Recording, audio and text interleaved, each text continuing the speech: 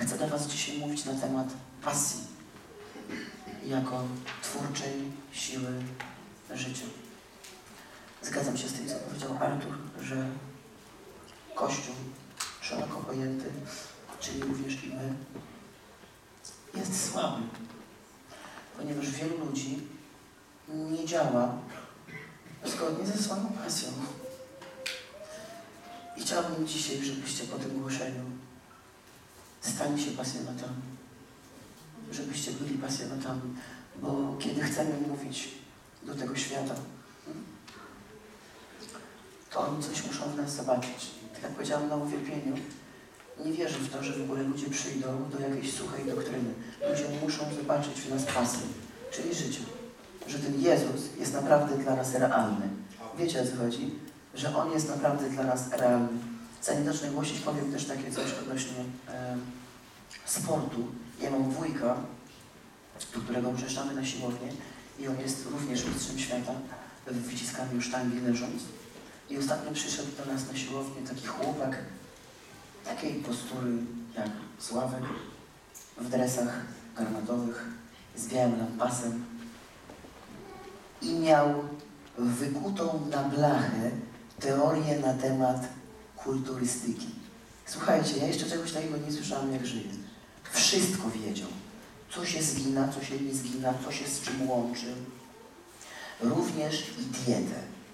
Miał wykutą na bank. A Darek właśnie kończył przysiady i miał na barkach 240 kg. Ja stałam przy nim, bo chodziło o to, żebym pokazała mu, że dobrze wkłada sztangę w widełki. Puścił przy tym wszystkim bąka, a on do niego mówi, słuchaj, będziesz miał na pewno krzywy kręgosłup, ponieważ robisz to w sposób nieprawidłowy. I mój wujek się tego zdenerwował i mówi do niego, posłuchaj, jesteś wypasiony wiedzą, jak autobus do Lichenia, a ja mam mistrza świata. Wiesz o co chodzi? Ty jesteś wypasiony jak autobus do Lichenia, a ja mam mistrza świata. Powiem ci tak, połowy nie wiem tego, co ty, ale znam moje ciało. Znam moje ciało. Wiesz o co chodzi? I mam mistrza. I ten chłopak, posłuchajcie, w ogóle odpuścił i przestał cokolwiek mówić. I to jest też obraz Kościoła. To jest obraz Kościoła. Kościół wszystko wie. Wykutą ma na blachę doktrynę. Tylko pytanie, dlaczego jeszcze dzisiaj siedzimy w tyle osób? Wiecie o co chodzi? Chcę, żeby też to głoszenie było dla Was istotne. Żeby ono było dla Ciebie ważne. Chcę, żebyś stał się człowiekiem pasji.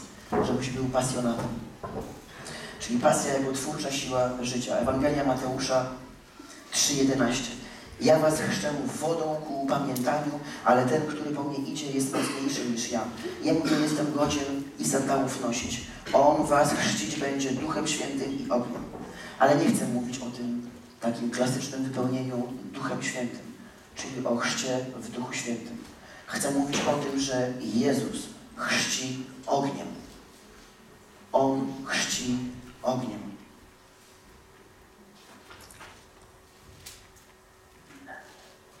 Czym jest ogień? Ogień jest znakiem oczyszczenia, znakiem oddzielenia i znakiem również pasji. Kiedy patrzymy na Stary Testament i na jego symbolikę, widzimy tam, że ogień dotyczy oddzielenia, czyli ofiary.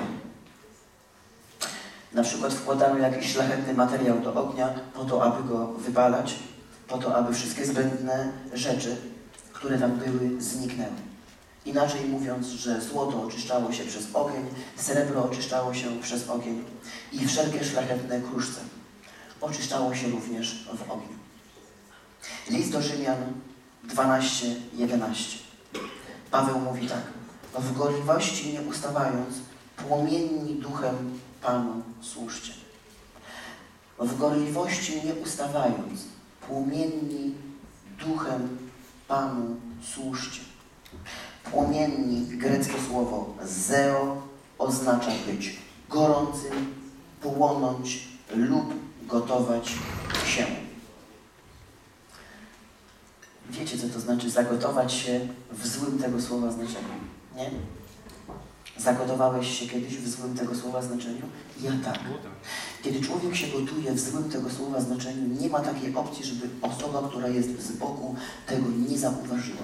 Tak? No chyba, że ktoś tak się wewnętrznie gotuje, tak jak wewnętrznie mówię do Pana. Czyli jak gdyby autoagresja. Nie? Czyli jeszcze raz, płomienni duchem Panu służcie. Czyli płomienni, greckie słowo zeo oznacza być gorącym, płonąć lub gotować się.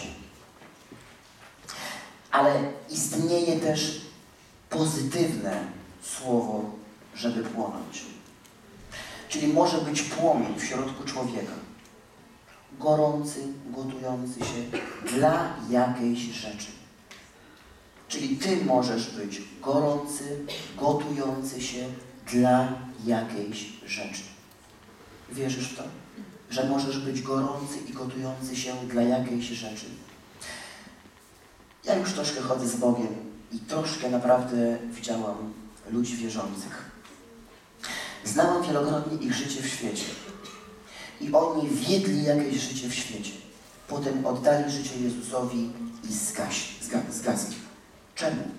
Nie stali się ludźmi pasji. Nie odnaleźli siebie w Bogu. Nie pogodzili się sami ze sobą i nie byli płomienni duchem. Chciałabym, żebyśmy wszyscy, jak tutaj siedzimy, każda osoba, która będzie się do nas dołączała, aby była płomienna duchem. Mnie zawsze w ogóle pociągali pasjonaci. Wiecie o co chodzi? Kiedy się bierzesz za, powiedzmy, kulturystykę, tak? No to idziesz do Marty. Hmm? Kiedy się bierzesz w ogóle za jakąś inną, kiedy bierzesz się na przykład za muzykę i będziesz chciał, żeby ktoś Cię w ogóle pouczył, pójdziesz do Przemka. Dlaczego? Ponieważ pójdziesz nie do teoretyka, tylko pójdziesz do praktyka. Pójdziesz do kogo? Do pasjonata. Do pasjonata pójdziesz. E, ja teraz chodzę sobie na rehabilitację. Mm, już Wam ostatnio mówiłam o tym rehabilitancie, fajnym panu Piotrze.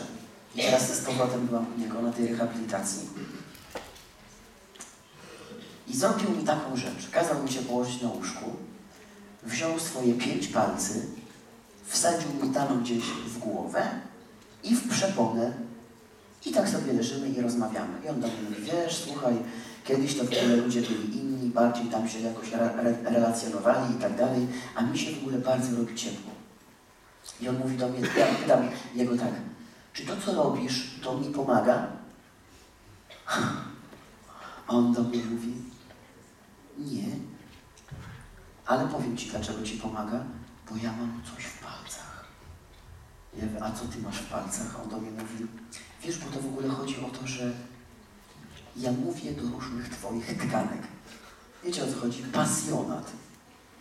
Po prostu natrafiłam na pasjonata. Wiecie o co chodzi? Pasjonat. Czyli w Twoim środku możesz płonąć dla jakiejś rzeczy. Możesz być pasjonatem. Nie musisz służyć Bogu smutny, z taką miną pokerzysty. Wielu ludzi ma przez całe uwielbienie jedną twarz. Wiecie o co chodzi? Z tym się trzeba mierzyć. To jest to, co mówiliśmy. Z tym się trzeba mierzyć. Nie można się tak samo radować i tak samo być niezadowolonym. Wiecie o co chodzi? I mówić, no bo ja tam wewnętrznie. Trzeba się w tym przełamywać. Kasia, odkamcnij sobie dobrze. Bądź pasjonatem, odkamcnijcie. Apostoł Paweł mówi, Panu służcie. Greckie słowo mm, mówi być niewolnikiem, czyli poddać się Panu w niewolę i być w tym jakim? Gorliwym, gorącym, płonącym i gotującym się niewolnikiem. To o to chodzi. Aby być płonącym, gorliwym i gotującym się. Pasję, którą w sobie w ogóle rozpoznasz, ona Cię wielokrotnie uchroni przed grzechem i przed kompromisem. Pasja, która będzie w Tobie, uchroni Cię przed grzechem i przed kompromisem. Nie chcę, żebyście mieli byle jakie życie z Bogiem. Bóg nie powołał Ciebie do byle jakości. On Cię powołał do tego, aby Twoje życie z Nim, w Nim było gorące. Było gorące. Aby ludzie widzieli, kurczę w ogóle, to jest pasjonat. To jest pasjonat. Często lubię sobie przejrzeć różne religijne spotkania i przyglądam się twarzom ludzi. I mówię, o, ten śpi, ten śpi, ten śpi, nie chrapie, bo jest przyzwoity, ten śpi, a już tak. Mówię, o, o. Wiecie co chodzi? Czemu tak jest? Bo coś się bez pasji odbywa.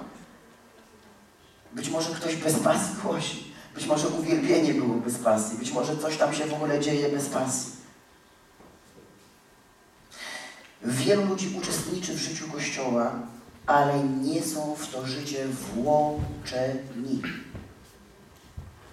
Zadaj też sobie to pytanie, czy jesteś włączony realnie w życie Kościoła?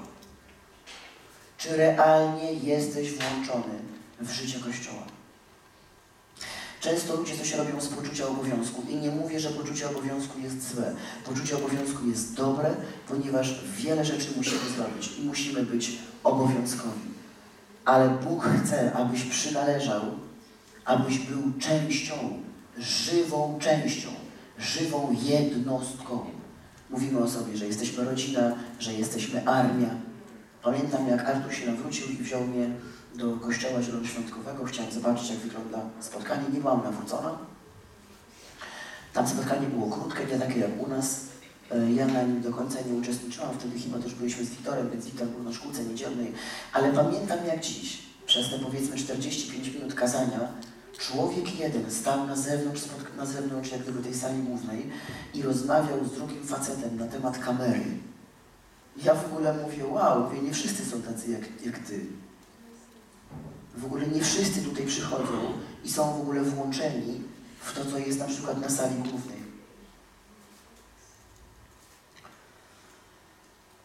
A więc tak jak powiedziałam wcześniej, że wielu ludzi uczestniczy e, w życiu Kościoła, ale nie są w to życie włączeni. Uważam, że Ty i ja jesteśmy powołani, aby służyć Bogu w bardzo wysokiej temperaturze. Nie? Czy wierzysz w to? Że Bóg powołał Cię do tego, żebyś służył Mu w gorącej temperaturze? Nie żebyś był letni, nie żebyś był zimny, żebyś był gorący. A żebyś był gorący, to musisz rozpoznać, co jest Twoją pasją. I dopiero kiedy to rozpozna, rozpoznasz, to to będziesz robił z pasją. Ja nie mówię, żeby nie angażować się jakby w życiu e, w kościele, w inne rzeczy, ponieważ ja też się angażuję w coś, co do końca moją pasją nie jest. Moją pasją nie jest perkusja. Wiecie o co chodzi? Jak gdyby gram z powodu, usiadłam na niej i gram przez cud i gram, bo jestem obowiązkowa, więc gram na tej perkusji. Ale kiedy przyjdzie perkusista, to ja natychmiast w ogóle oddaję dwa, powiem więcej, zainwestuję, kupię nową. Także jeśli jakiś perkusista, który już blisko jest sercem Kościoła Mocy i chce się tutaj przyturlać, to ja Cię przyzywam, przychodź wcześniej. Chcę Wam teraz powiedzieć o obszarach, w których pasja tworzy owoc. Pierwsze to jest pasja względem Boga. Kiedy rodzisz się na nowo, znacie to, wszystko natychmiast co robi? Ożywa. Ożyło w Tobie? Kiedy się narodziłeś na nowo, natychmiast w Tobie wszystko ożyło. Tak? Ożył Bóg, ożył Kościół i co ożyła? I Biblia ożyła. I Biblia ożyła. Miałeś tak? No właśnie. Potem po latach, nie? głowa spuchnięta od wiedzy, jakoś tak już ten Bóg jest taki nierealny. Kościół jest staranny, a Biblię porwali, więc nie będę czytał.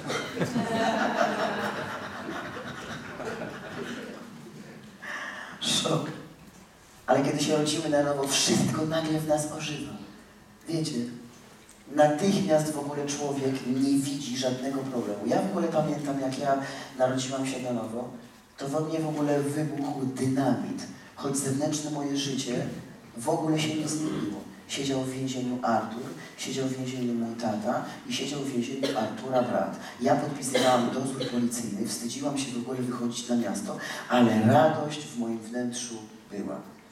Dwa razy w tygodniu jeździłam do Warszawy, raz na grupę domową, dwa do kościoła.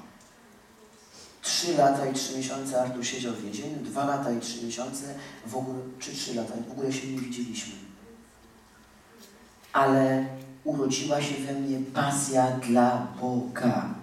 Ja nie miałam żadnych już pasterskich spotkań, ja nie miałam spotkań terapeutycznych, ale przyjęcie Jezusa jako osobistego Pana i Zbawiciela i wypełnienie mnie Duchem Świętym spowodowało, że ja zostałam co? Ożywiona. Zaczęłam żyć zupełnie innym życiem. Także kiedy się rodzimy na nowo, to popatrz, wszystko w Tobie ożywa. Kościół ożywa, Biblia ożywa, Bóg ożywa. A często po latach jest tak, że rzeczy co gdyby usypiają. Usypiają też, bo przestajemy być pasjonatami. Przestajemy napierać, tak? Przestajemy być pasjonatami, przestajemy płonąć dla Boga. A chodzi o to, że Jezus ma być dla Ciebie i dla mnie zawsze realny. Zawsze. Tak samo. Tak jak na początku, tak na końcu. Że jak przyjdzie, to żeby nas znalazł jakimi? Służącymi.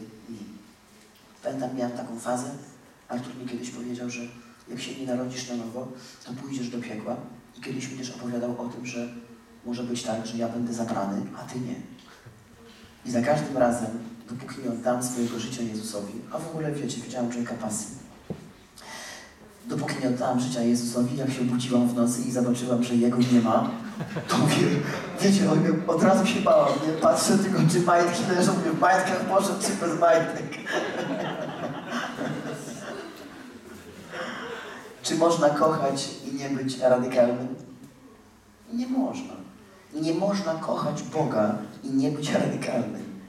Nie można kochać Kościoła i nie być zaangażowanym w Kościół. Nie można kochać Boga i nie spędzać czasu z Jego Słowem. Nie można. Kiedy kochasz, to idziesz z tą osobą. Sięgasz tam, gdzie wielokrotnie byś nie sięgnął. Kiedy kochasz. Miłość powoduje, że idziesz dalej, niż normy pokazują. Zgadzasz się z tym? Tak robi pasjonat. Oddanie jakiejś rzeczy. Miłość powoduje to, że idziesz dalej niż normy pokazują. Wiesz o co chodzi? Bóg nie chce wyrobników. On pasję, to chodzi o pasję. Jezusa życie zainspirowało Ciebie i mnie, ponieważ zobaczyliśmy w ciele kogo? Pasjonata. Zobaczyliśmy w ciele pasjonata. Zademonstrował nam w ciele Słowo. Pokazał nam zupełnie inne życie. Często chrześcijanie bujają się 20 lat, zanim w ogóle ogarną, że tak powiem, tą życiową kuwetę, co z rodziną, a co z tym mężem niewierzącym, a ta siostra, a ten wujek, a to wiecie o co chodzi? To wszystko ma swoje miejsce w naszym życiu, ale to musi być ułożone na odpowiedniej w ogóle półeczce. Miłość nie kalkuluje. Oddajemy życie Jezusowi jakie? Całe. Całe. On się stał Panem Twojego życia, kapitanem tego statku. Ostatnio analizowałam sobie miłość matki. I tak, czym bardziej ja jestem starsza, mam 44 lata, tym bardziej w ogóle dotyka mnie życie matki. Jak byłam małolatka, to tak niekoniecznie analizowałam sobie pewne rzeczy i też niekoniecznie zastanawiałam się nad pewnymi rzeczami. Inne rzeczy były dla mnie ważne. Ale analizowałam sobie ostatnio życie matek i życie poświęcenia matki. Matka to pasjonatka. Matka to pasjonatka. Czy wyobrażasz sobie powiedzieć matce, aby straciła nadzieję względem swojego dziecka? Nigdy matka nie straci nadziei względem swojego dziecka. I chcę Wam podać taki przykład. Tam siedzi moja teściowa, a tutaj jest jej syn. Kiedy miał 17 lat, zamordował człowieka. Mieszkamy w bardzo malutkim mieście, w którym ma niespełna 8,5 tysiąca ludzi. Basia zajmowała kierownicze stanowisko w takiej firmie na Śląsku. Artur morduje człowieka. Mama jest na dosyć wysokim stanowisku społecznym. Wielokrotnie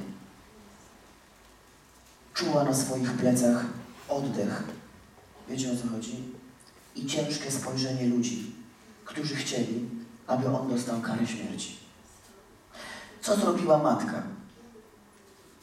Matka spięła pośladki razem z ojcem i zrobili wszystko, żeby wziąć mu dobrego adwokata i żeby go wybronić z trudnej sytuacji.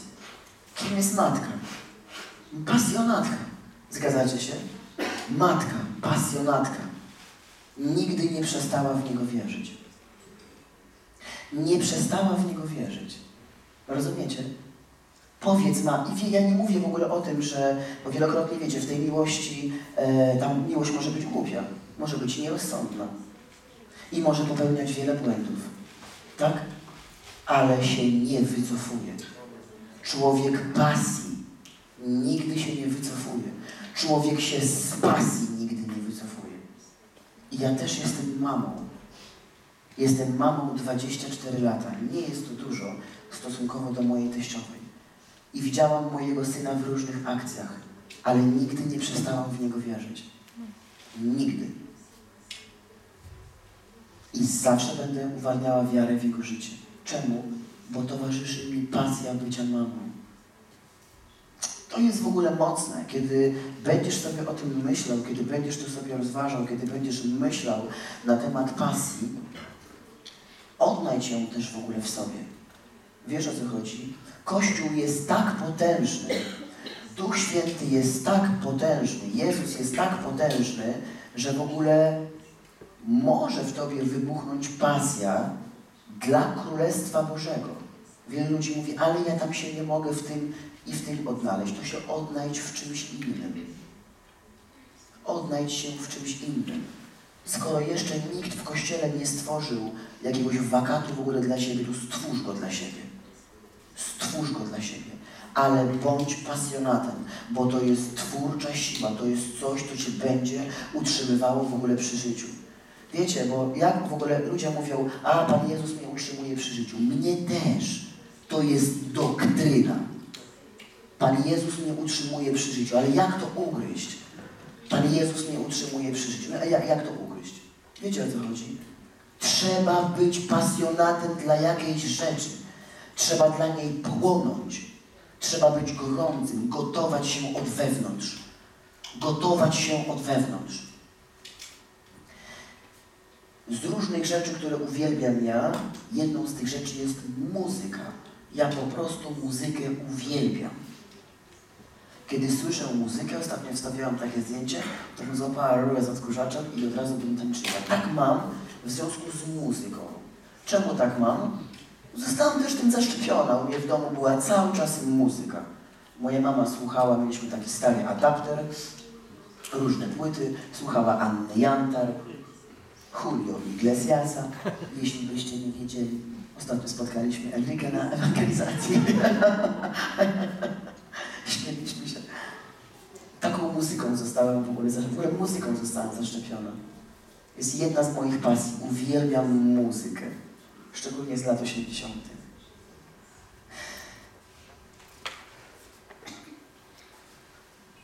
Więc pomyśl sobie, na przykład jeśli jesteś mamą, nie? Zobacz, jaka, jaka w ogóle siła, nie? Czyli pierwsza to jest pasja do, do Boga, druga pasja do ludzi. Pasja względem ludzi jest czymś niesamowitym. Oni będą dla Ciebie uniwersytetem życia.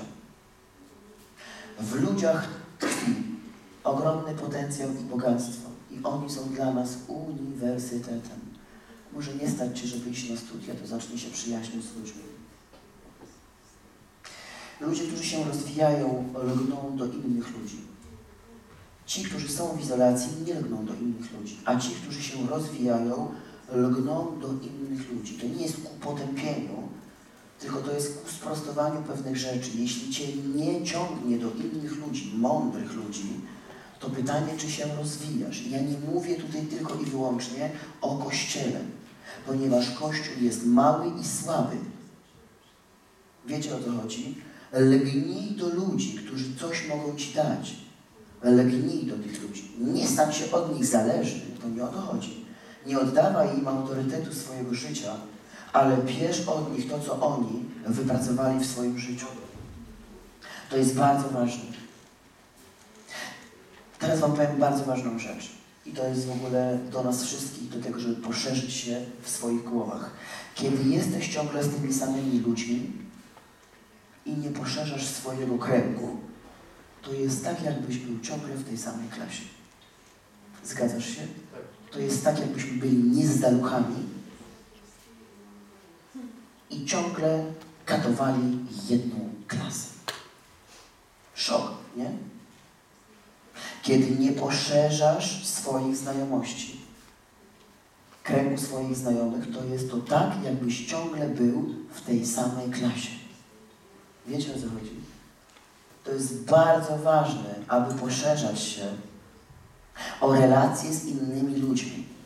I dla ludzi, którzy są w swojej głowie ludźmi religijnymi, jest to nie do przejścia, ponieważ postrzegają świat jako jakieś zło.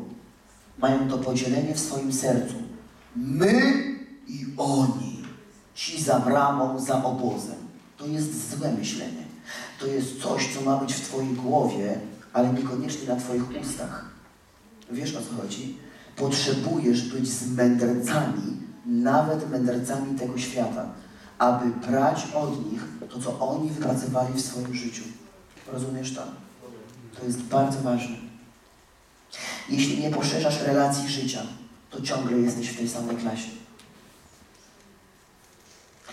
Ludzie są bramą do Twojej i mojej przyszłości. Powiedz to. Ludzie są dla mnie bramą do mojej przyszłości. Ludzie są bramą do Twojej przyszłości. Wiecie, że to od nas zależy, co i jak będziemy tworzyć. Trzeba być po prostu pasjonatem. Bądź pasjonatem człowieka.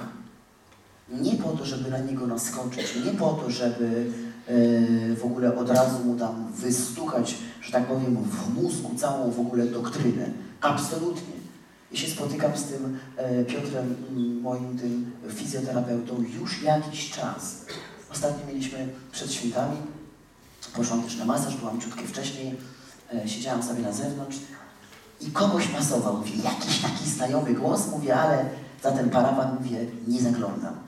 To był kobiecy głos. I ten kobiecy głos do niego mówi tak, nie no Piotrze, słuchaj, mówi, to, to nie o to chodzi tak z tym zbawieniem, wiesz, mówi, bo gdyby to zbawienie zależało od opłatka, no to ja bym w ogóle Boga nie szukała, bo się nażarłam tego opłatka bardzo dużo. Ale mówi, opowiadasz mi o Agacie, że ona tutaj do Ciebie przychodzi, mówi, ona jest nauczycielką Bożego Słowa, weź Ty ją tam zapytaj. A ja siedzę i to słucham, mówię, kurczę, kto tam siedzi w środku, że w ogóle tak dobrze o mnie mówi? Patrzę, wychodzi Kasia Mikulska, Tomka Mikulskiego żona. I za chwilę wychodzi Piotr i mówi, długo tu siedzisz?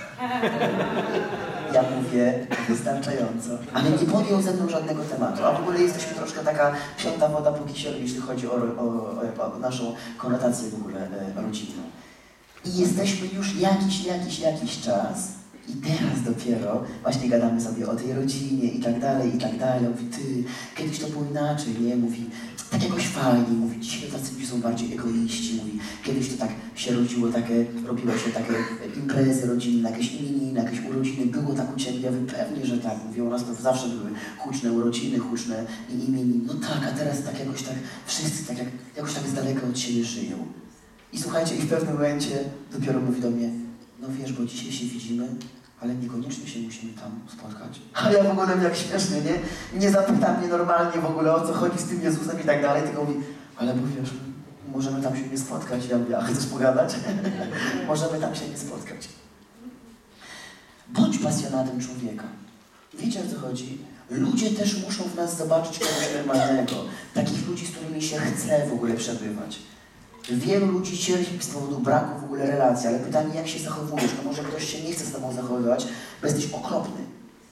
To nie o to chodzi, że teraz masz powiedzieć, wiesz, jestem pasjonatem człowieka, u mnie w kościele teraz pastor głosiła, że mam być pasjonatem człowieka, jestem pasjonatem, siadaj i tam, nie wiem, powiedz mi w ogóle, co tam wszystko wiesz, nie? To nie o to chodzi.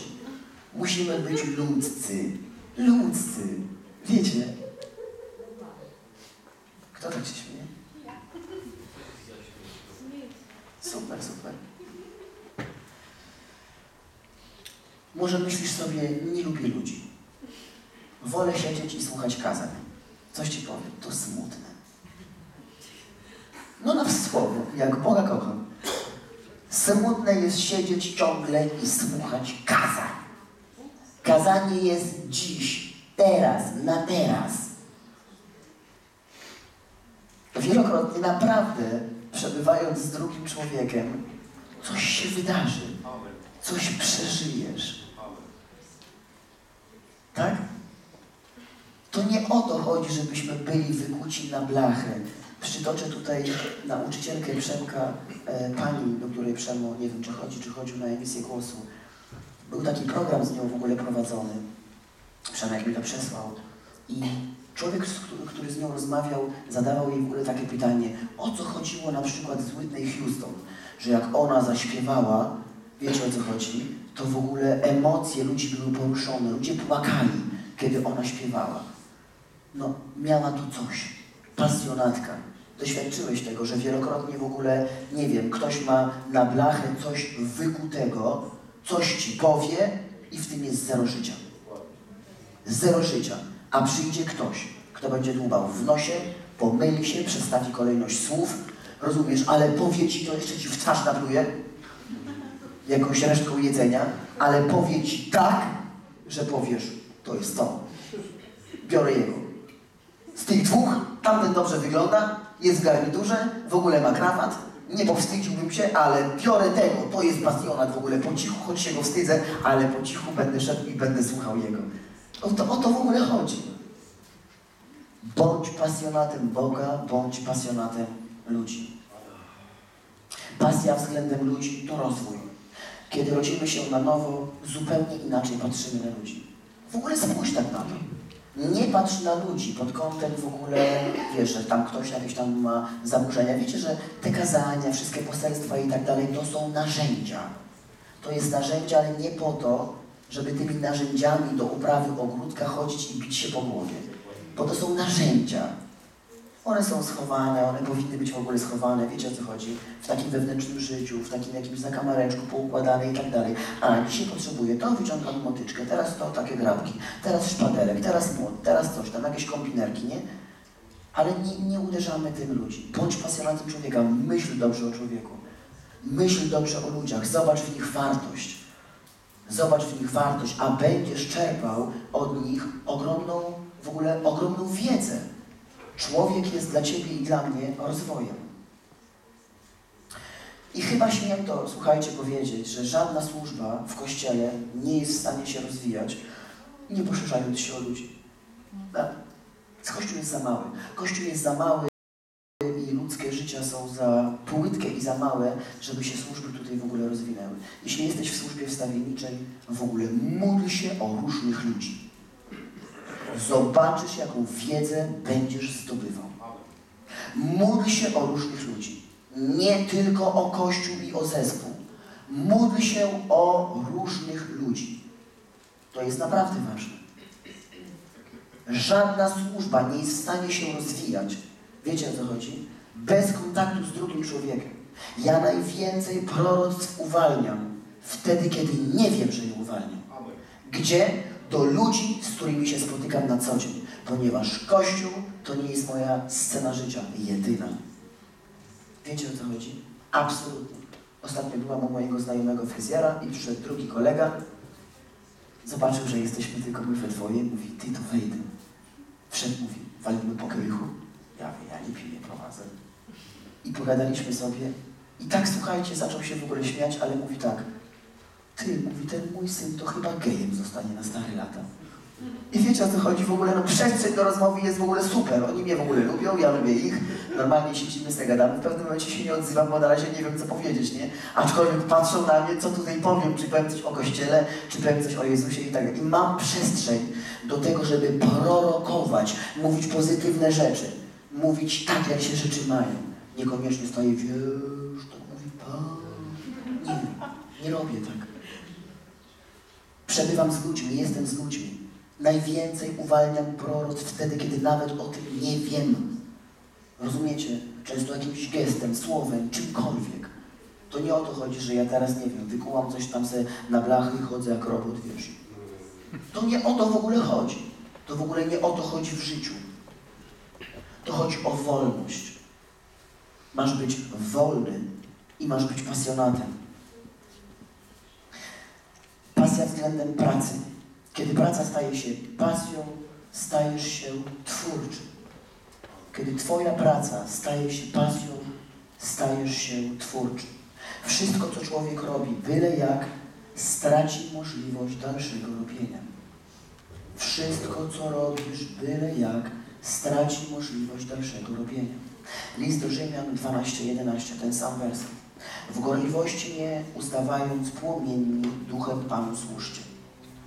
I teraz Wam go troszeczkę inaczej przedstawię, ten werset. W gorliwości nie ustawając, greckie słowo opneros poude, połączone razem, tworzy taką wypowiedź. W swojej pracy i biznesie, w rzeczach, które wykonujesz, nie bądź smutny, powolny, leniwy, opieszały, byle jaki. Jeszcze raz Wam powtórzę, ci, którzy zapisujecie. To jest ten sam werset, list do Rzymian 12:11. W gorliwości nie ustawając, płomienni duchem Panu służcie. I te greckie słowo tutaj jest opneros poude, połączone razem, mówi tak. W swojej pracy, biznesie, w rzeczach, które wykonujesz, nie bądź smutny, powolny, leniwy, opieszały i byle jaki. Czyli w swojej pracy również potrzebujesz być w żarliwości, czyli cokolwiek, w cokolwiek jesteś zaangażowany, to co? Płomień musi w tym być. Jak nie ma płomienia, to jest klapa. Wiecie o co chodzi? Musi być płomień w tym, co robisz. Musi być w tym płomień. To Cię będzie utrzymywało przy życiu.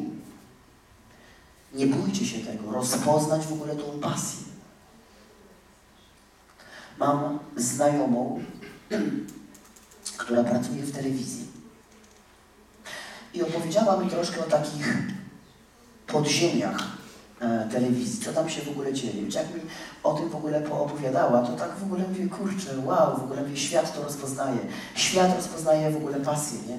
Uczyć się po prostu różnie, nie? Mówiła mi o grupie informatyków, którzy tam powiedzmy pracują dla e, różnych e, rzeczy związanych z telewizją, ale niekoniecznie bycie informatykiem to jest ich pasja. I wiecie, co robią liderzy telewizji? Organizują im w podziemiach miejsca ich pasji, po to, aby byli efektywni na przykład w tym biznesie. Wiecie, o co chodzi? Kiedy mają przerwę, idą na siłownię. Jest dziewczyna, która uwielbia szyć torebki i ma, zrobiono, ma zrobione miejsce pracy i w chwili na przykład przerwy ona sobie idzie, kroi materiał, ma maszyny i szyje torebkę. Świat to rozpoznaje. Pasja to stwórcza siła życia. Tak jest na przykład w telewizji. I to nie jest informacja przekła, przekłamana, jest to informacja z prawej ręki od osoby, która pracuje w telewizji cały czas. No. Dobre, nie? Edukuj się i przebijaj się do miejsca, aby Twoja praca była Twoją pasją. Edukuj się i przebijaj się do miejsca, aby Twoja praca była również Twoją pasją.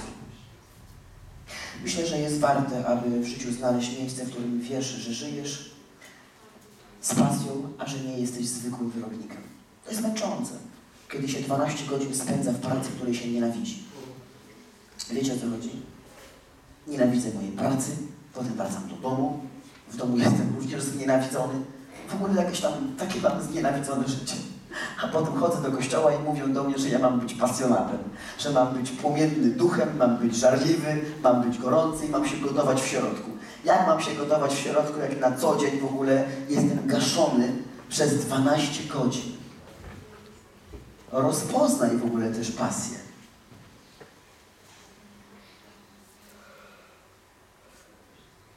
Kiedy robisz coś z pasją, to jesteś twórczy i teraz ważna rzecz. I nikt Cię nie może zastąpić. Pasjonat jest niezastąpiony. Naprawdę. Kiedy robisz coś z pasją, nikt nie może Cię zastąpić. Potrzebujemy dzisiaj, wiecie, jakich ludzi? Którzy chcą coś robić. Kiedyś na Kasprzaka wygłosiłam takie kazanie. Moc masz, ale czy masz chęć? Bo moc mamy. Pytanie, czy mamy chęć? Czy masz chęć do tego, żeby się stać pasjonatem? Nie? Wiele można mówić o zwyciężaniu, o wojnie duchowej, o różnych w ogóle rzeczach, o prorokowaniu, o skutecznych w ogóle modlitwach, a można nigdy w życiu nie stać się pasjonatem, nie rozpoznać w ogóle pasji swojej. Można nigdy nie tworzyć i być skazanym na odtwarzanie. To jest w ogóle bardzo mizerne, wiecie, w ogóle te odtwarzane w ogóle rzeczy, one nie pociągają nikogo. Nikogo. Marta jest pasjonatką, tak to mogę powiedzieć, kulturystyki. Tak to powiem. Ostatnio byliśmy sobie na takim obiadku, kolacji, to już mówię, już jej nie zapytam, bo jak ja ją zapytam o jedną rzecz, to ona mi tyle w ogóle powie, że ja, ja tego nie złapałam. Ja nie złapałam tego. Ona, ma, ona poszła ponad normę w tej naszej rozmowie. Ja ją zapytałam tylko o jakiś taki jeden malutki element, a ona mi wyciągnęła taką wiedzę i mówiła tak. Ja wiem, ojej, to już nie na moją głowę. Pasjonatka. Pasjonatka. Wejdź na sam szczyt i głoś tam Ewangelię. To jest cel. Bo wiecie o co chodzi? To jakby to, ta kulturystyka to jest narzędzie. To jest narzędzie, a ważny jest cel. A ważny jest cel. Może jesteś, dlatego nie bójcie się tych pasji. Bo może Twoja pasja jest daleka gdzieś od pięciu darów służb. Na przykład. Tak? Wiesz, co chodzi? No na przykład Kasia uczy języka niemieckiego, Asia też uczy języka niemieckiego. A kogo tu uczyć w kościele? Nikt nie chce. Uczyć i uczyć? Ty, płatny, nie? Płatny. Uczyć, pewnie, że uczyć. To jest narzędzie. A jeśli jeszcze jest połączone z pasją, tak? To w ogóle módl się, abyś szedł w ogóle do takiej, a nie innej w ogóle grupy ludzi i w ogóle głoś Chrystusa. Wiecie o co chodzi? Wiecie, że pasja, dzięki pasji rośnie Kościół. Dzięki pasji rośnie Kościół. Ale nie słyszę Was w festiwalu radości. No, dajcie jakiś głos. No, musi być jakaś zmiana. Musi być jakaś zmiana. Musicie w ciele zacząć to pokazywać. E, Robert, czy Ty podzielasz to, co ja mówię? Oczywiście. Super. Dobra. I teraz Wam jeszcze powiem ostatnią rzecz, to jest pasja względem Kościoła. Pasja względem Kościoła przybliży Cię do Kościoła. Oczywiście nie do Kościoła jako do tej yy, sali, no nie o tym mówię, ale pasja do Kościoła, czyli do ludzi wierzących, przybliży Cię do ludzi wierzących. I często jest tak, że kiedy ludzie, wiecie, to, to fajnie tak, bo ludzie jak słyszą w ogóle słowo Kościół, to każdy ma jakieś doświadczenie, nie? No bo każdy ma jakieś doświadczenie w ogóle e, w byciu w ogóle w kościele. Ja mam też jakieś doświadczenie. Z pierwszego kościoła nas wyrzucili, więc no jakieś takie, no, nie, nie, nie za koniecznie miałam dobre doświadczenie pierwsze, jak gdyby z pierwszego kościoła. Każdy z nas ma jakieś doświadczenie, ale w ogóle nie zatrzymuj się na negatywnym doświadczeniu. Powiedz, chcę być pasjonatem kościoła.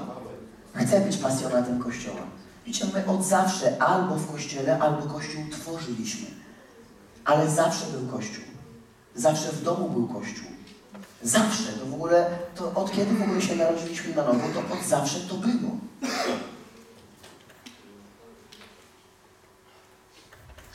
Kościół jest troszeczkę jak kobieta.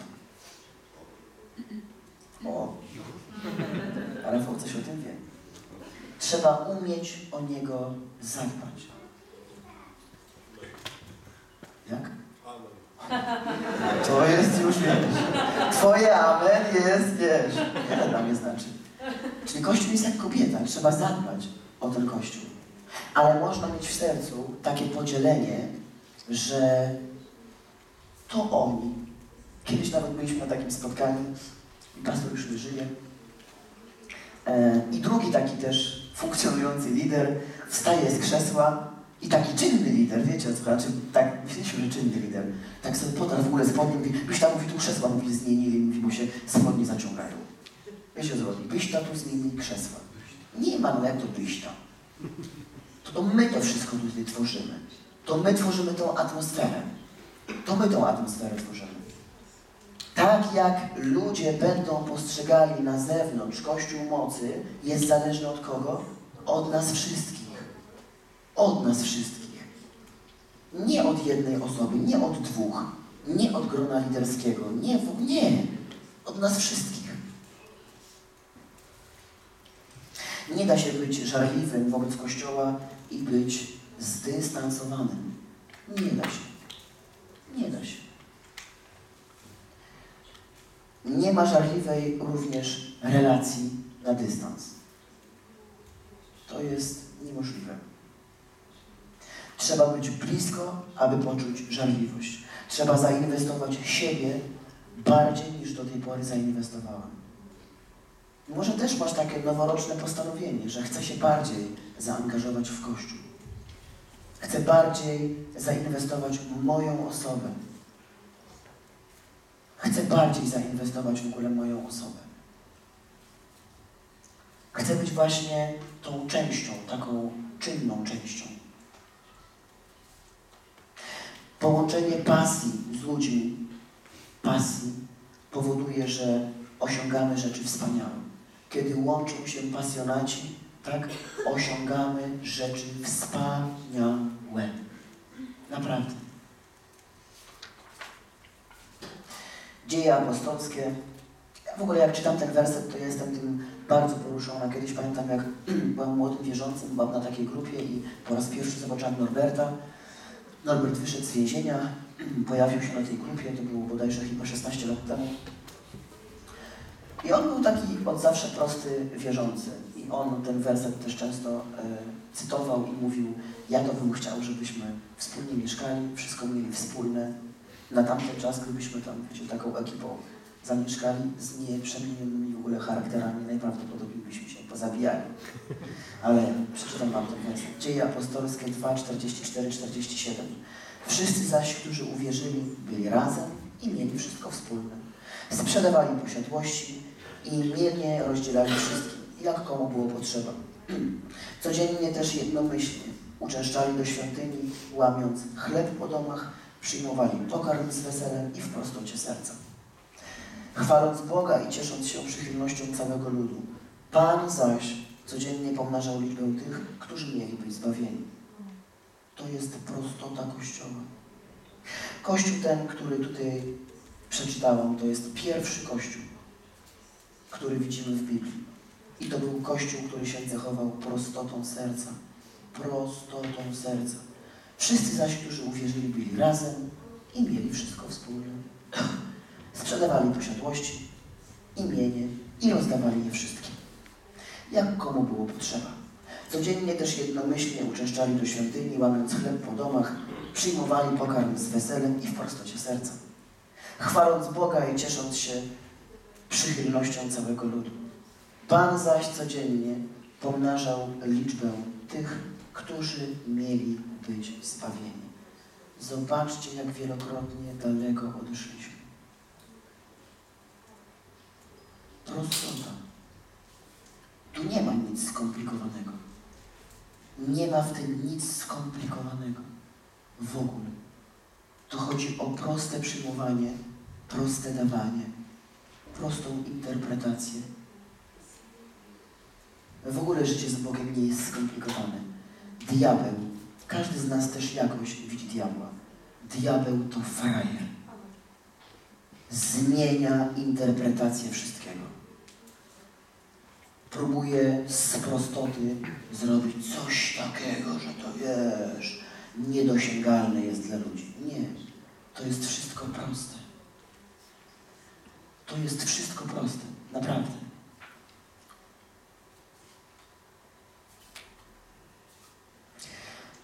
I ten Kościół miał pasję względem siebie i w tej pasji jest pewna atmosfera.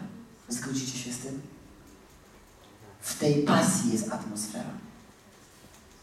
Bo ludzie przyłączą się do pasji. Powiem to. Nie do suchej doktryny. Ludzie przyłączą się do pasji. Muszą w tobie zobaczyć pasjonata. Żywą, realną część Kościoła. Wiecie, do pasji się ludzie przyłączą. Do pasji. Nie pasja nie pociąga, bo to nie jest stwórcza siła życia. To nie pociąga. To jest teoria. Przyjdź ta do kościoła. Ale dlaczego? Żeś się tutaj przypił do mnie. Chodzę do kościoła. Pasja. Podporządkowane życie. Wracając jeszcze do mnie i do mojego kolegi fryzjera, obcinał mnie teraz w Sylwestra, mówi do mnie, Agatka, cię tam chemik cię zabiera, jakaś domówka, te sprawy? Ja mówię, Paweł, że szalałeś. W kościele jesteśmy. No nie, nie żart. Nawet dzisiaj. Ja mówię, mhm. nie, to powiem Ci tak. Tu mnie zaskoczyłaś. Tu mnie normalnie zaskoczyłaś. Myślałam, że normalnie Sylwester, trochę jakieś tam, wiesz, tutaj pokręcicie się, jakieś te sprawy. Ja wiem, nie, znaczy pokręcimy się, ale w ogóle w kościele. Tylko wiecie o co chodzi? On nie ma doświadczenia kościoła. Jakie on ma doświadczenie kościoła? Ksiądz. Jeden najedzony, reszta głodny. Wiecie o co chodzi? On ma takie doświadczenie kościoła. Po co iść do kościoła? Tylko tam ksiądz idzie.